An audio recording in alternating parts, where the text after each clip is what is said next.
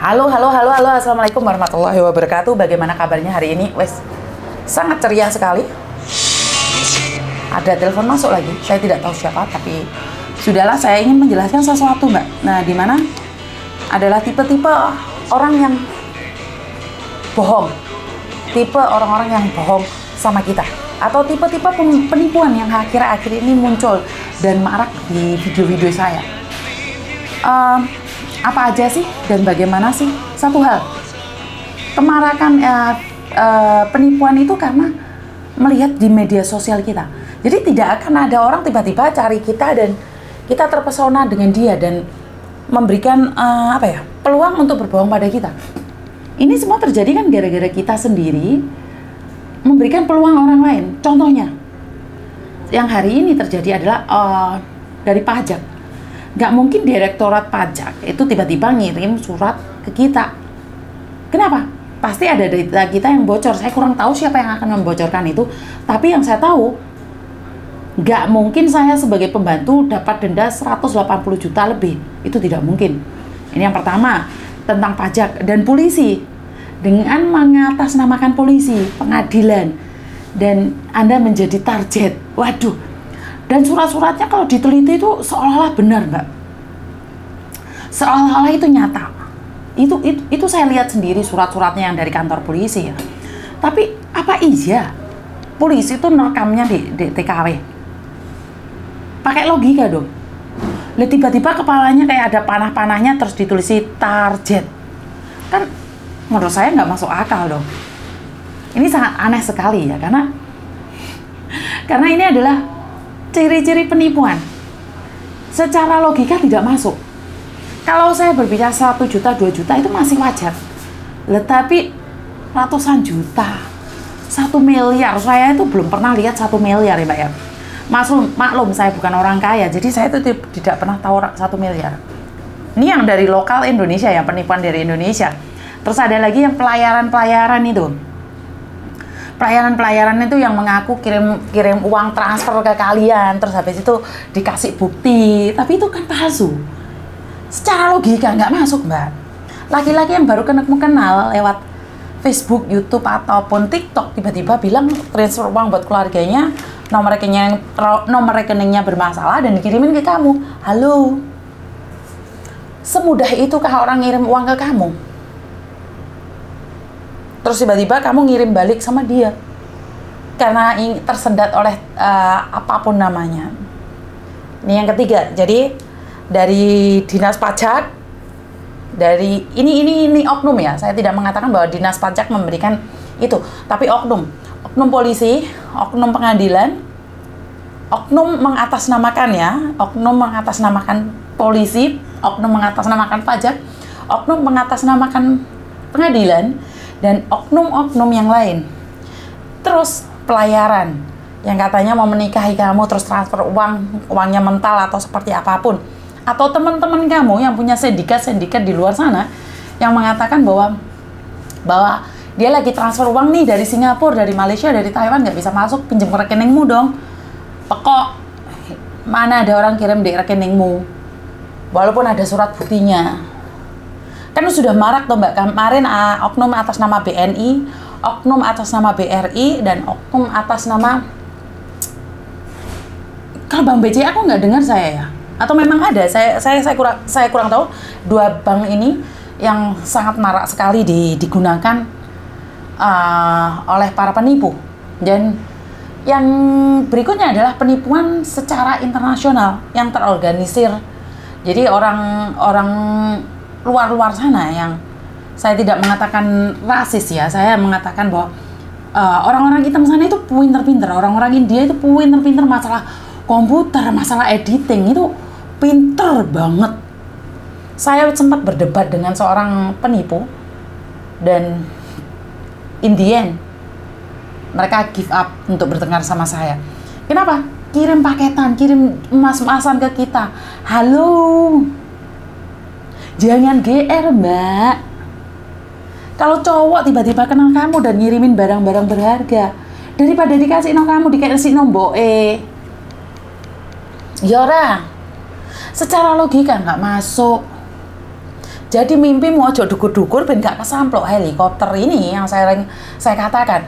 Modus-modus penipuan bermacam-macam dan job cowok job cowok di Hong Kong itu sangat-sangat diminati. Sekali up job cowok yang ngejar itu komennya itu banyak sekali. Yang ngejar itu banyak sekali. Uh, dibuka job cowok uh, di kebun di di di hotel di mana. Wah kalian tuh langsung menyerbu Facebooknya dia. Walaupun saya ngomong sama demble sampai delewer delewer ilerku like kalian tetap percaya sama penipu yang yang notabene itu tidak ada job ya nggak apa-apa. Kan yang rugi kalian. Kan eman saya yang eman. Daripada duit iku mau kayak nawong liyo lebih baik kamu kasihkan ke saya. Bener nggak? Jadi buat teman-teman yang di luar sana selalu berhati-hati. Beberapa oknum yang sudah ketahuan itu mereka akan berbilang bahwa oh maaf bukan saya teman saya dan di beberapa yang saya kejar itu suara-suara suara-suara penipu itu mereka memang bermainnya sangat uh, elegan sekali. Iya, selamat siang Ibu. De, saya dari bank ini kan memberitahukan bahwa Ibu sedang mendapatkan ini anak pinter. Ilate lainnya tenan. Jan ilate kayak keroane Mas. Jadi itu manis sekali. Wah, kayak tau mangan Mas ya Mas. Um, Miss Juni. Ora sih, jadi arek. Jadi buat teman-teman di luar sana, wes tojok percaya. Dan buat sampean sekali lagi pesen kalau kamu jatuh cinta pada laki-laki, jangan pernah melakukan video call dengan membuka aurat kalian. Ah, Miss Yuni sok suci. Oh, iya, Mbak, saya sok suci. Tapi saya tidak ingin karena kalian bilang saya sok suci, terus giliran ada masalah kalian telepon saya, terus kalian diancam-ancam. Ya tubuh-tubuh saya terserah saya dong Miss. Ya iya sih terserah. Tapi kalau menyebar ke mana-mana jangan nangis. Kalau laki-laki yang sangat mencintaimu, mereka tidak ingin melihat tubuhmu. Mereka ingin melihat hatimu. Ya, jadi karena memang ada beberapa video yang sudah disebarkan ke saya dan dengan dengan apa ya? Saya saya nggak expose ya ini ya.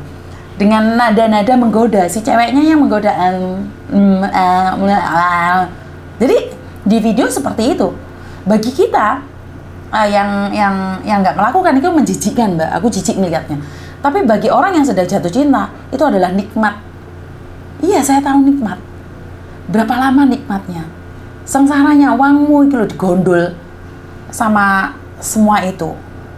Jadi saya cuma memikir apa sih yang bisa kita lakukan apa sih yang mampu kita berikan Samen dan saya itu melakukan yang terbaik agar kita bisa baik-baik saja tapi kalau kita tidak mampu melakukan yang terbaik dan kita nggak bisa baik-baik saja, terus ngapain kita kerja ke luar negeri?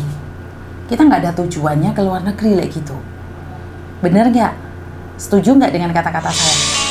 Jadi jangan pernah putus asa untuk menjadi orang baik.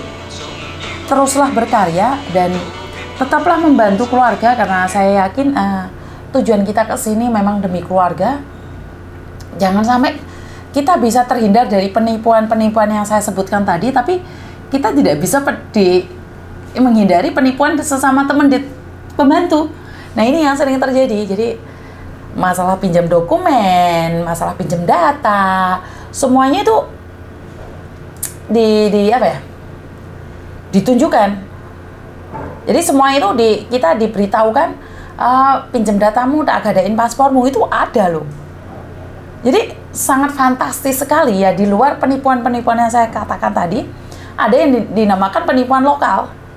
Sama-sama TKW ini sama-sama sorone doyan mangan keringet kuning ya konco kok bisa mis kok bisa mis lagi nyatanya kan seperti itu toh banyak dari kalian kan seperti itu kan? Kamu tega ngelek keringet kuningnya konco. Apa itu salah? Ya kalau menurutmu nggak salah saya pun nggak akan pernah mengatakan itu salah. Silahkan.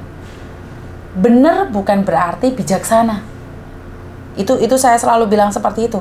Ya kalian benar bantu temanmu tapi itu tidak bijaksana buat dirimu. Karena saat ditipu saat mereka tidak bisa bayar utangmu kamu yang nangis jadi itu aja da dari saya kurang lebihnya saya minta maaf dan ingat tipe-tipe penipu itu yang harus kita hindari jangan iba pada orang yang sebenarnya sedang punya rencana untuk menjatuhkan kamu ibalah pada dirimu sendiri yang sudah bekerja siang malam tapi uang tidak kamu dapatkan tapi malah bayar utangnya wong dan terima kasih. Wassalamualaikum warahmatullahi wabarakatuh. Berkat Tuhan mengalir atas kehidupan kita semua. Semoga semua makhluk bahagia dan terima kasih. Bye-bye.